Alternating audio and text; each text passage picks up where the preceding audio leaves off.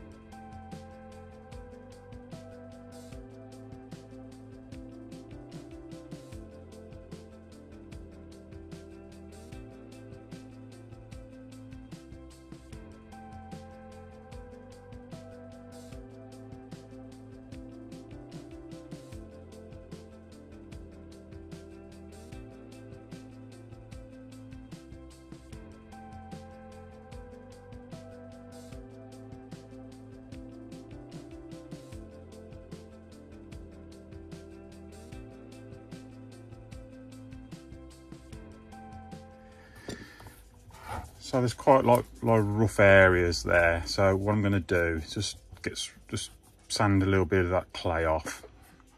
And then I'm just going to frame it with a bit of balsa wood and then cut it to the profile of the ground. And then we'll um, get on to the next stage, which is probably going to be um, sealing um, the building with some PVA.